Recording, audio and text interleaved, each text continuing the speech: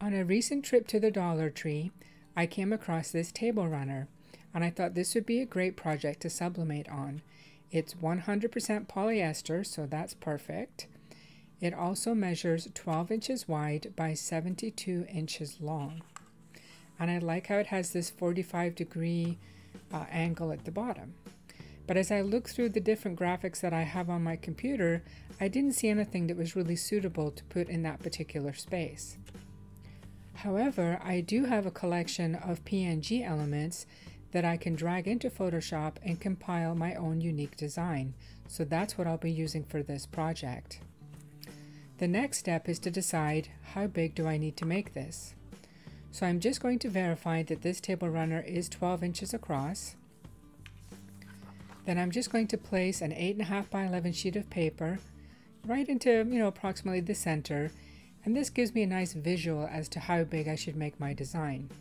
So I think 8 inches across would be perfect and that would give me a couple of inches of a margin on each side of the table runner. So now that that's all decided, let's go into Photoshop and I'll show you how I make my design. Okay, so I, I'm in Photoshop. You can use any graphics program that supports PNG file format. I've gone ahead and created an 8.5 by 11 document, so that should, you know, handle my 8 inch uh, graphic for this project. And the graphics that I'm using, I purchased this bundle from designbundles.net.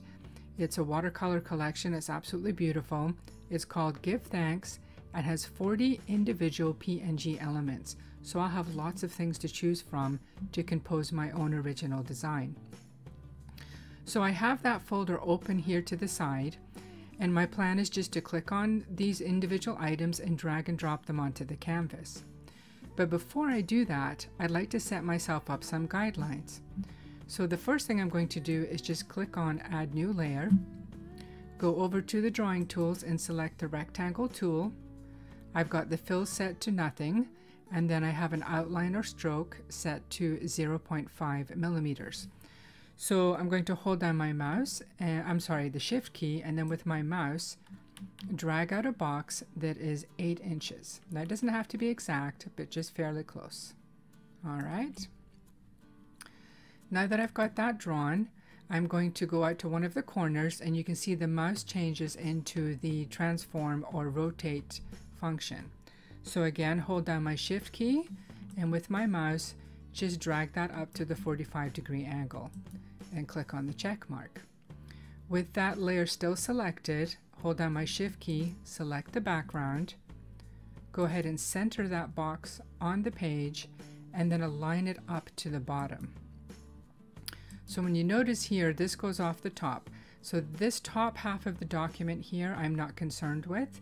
It's just this bottom part. I want this 45 degree angle and that point to line up at the bottom of the page and this will help me compose my design. So now I, all I need to do is just start dragging and dropping these elements onto the page. So I'll start with this turkey. And again, this is just a rough um, outline of how your design is going to look. So I'll put that there.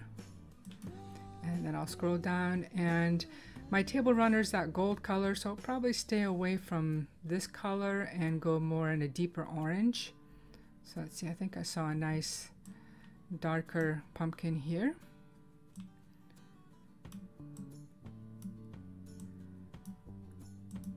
And then maybe we'll pick this nice green one.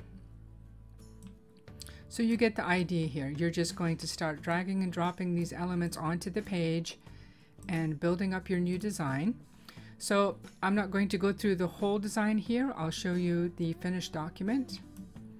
This is the design that I came up with. So I've got some leaves behind the turkey, a variety of pumpkins, gourds, and then some apples and just tapered my design down here and here to give me that 45 degree look. So now that this is done, I'm just going to save the document in, in the Photoshop format. That way I can always go in and edit it. Okay, so I've already done that. So the next step now is just to go ahead and send this off to the printer. But obviously I want to delete or remove those guidelines. So to do that, I just go down to the layer that they're on. and I can click on the eyeball and they disappear. So in this particular project, I don't need to save it as a JPEG or a PNG file. This one is just ready to go. So I will go ahead and send this off to my printer. I do want to give you a tip though. If you saved it as a JPEG at this point, you will have this white background to contend with. If you want to save it as a PNG file, you would just go ahead and click on the background, remove that, and then this checkerboard pattern in Photoshop indicates transparency. So I would probably save this as a PNG file. That way, if I decided that I wanted to make maybe place card holders for, you know, the Thanksgiving meal or make a nice card, I can go ahead and add a nice background to this. So that's something to consider. And again, at this point, you would just go ahead and say save as and then PNG file. So I thought I would just make that note before I go ahead and print this.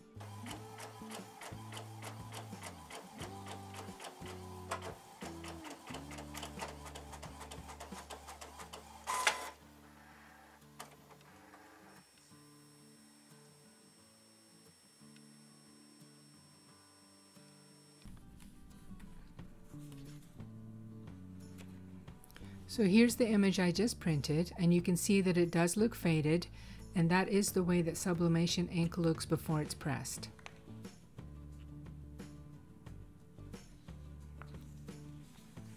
So a tip that I have to avoid getting the imprint of the paper onto the fabric is tear away that excess paper.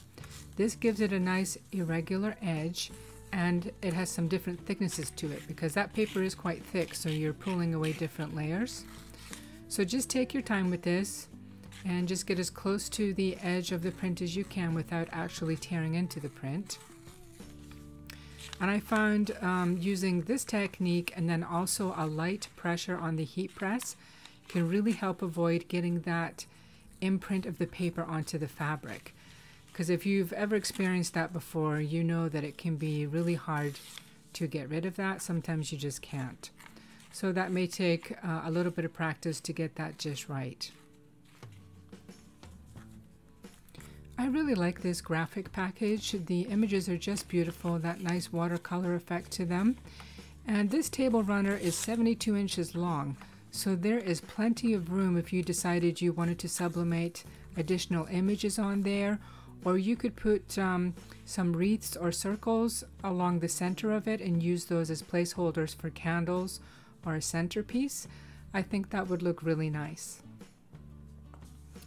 So now I need to decide how far up from that bottom point do I want to place the image because I've got the other side to do and I would like them to be the same so or as close as possible so I'm just going to use my ruler uh, to place this design and then I'll do the exact same thing on the other side. So that's probably a little over an inch, maybe an inch and a half.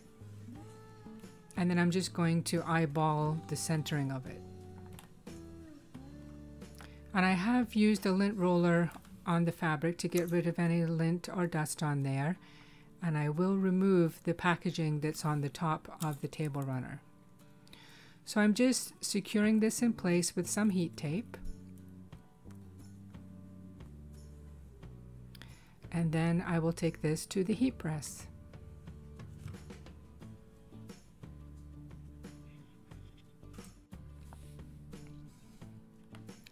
So this is how I prepare my heat press for this project.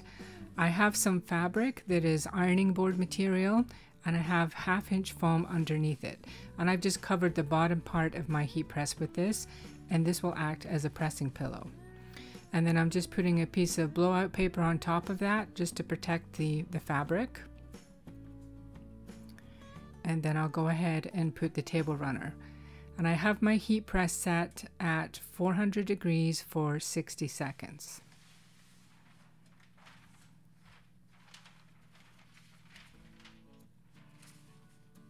Another piece of paper on top and I have light pressure on my heat press.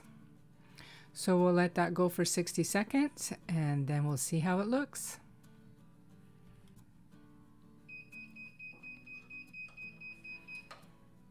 All right, so let's open up that heat press and have a look.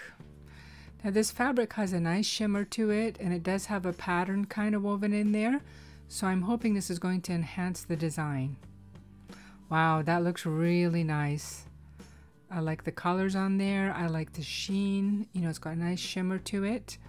And like I said, this uh, table runner is 72 inches long, so there's lots of opportunities for more sublimation. You could put uh, a saying on there or a place for a centerpiece or candle holders.